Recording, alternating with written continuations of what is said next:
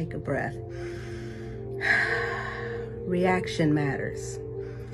How we react matters. I have a chapter in my book called Reaction Matters. And the reason why I wrote that chapter is because I used to be an angry little black girl from Compton, if you can believe that. I did. And I was always screaming, I was always shouting, I was always very impulsive, I was always mad at somebody, but it was coming from a place of trauma, a bunch of unhealed wounds that I was walking around with.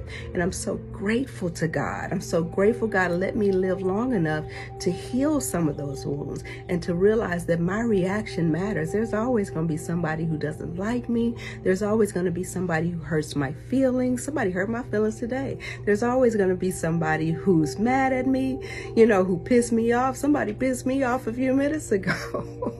but how I react, I'm so happy to be here long enough to have gained the wisdom to know how to react and how not to react. You understand?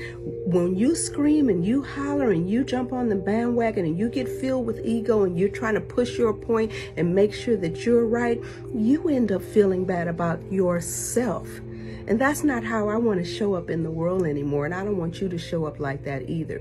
People, all people, have good and bad qualities. If there's somebody in your life that has great qualities, then deal with them when they're in that mode. And the rest of the time, you're just busy. Don't answer the phone. We all have good and bad in us, and we are all here to learn a lesson. People are made of true love, whether they know it or not. And someone might cross your path, and they're just here to teach you uh, something or to impact your life or to let you impact their lives. So be open enough to still be a student and realize that your reaction matters.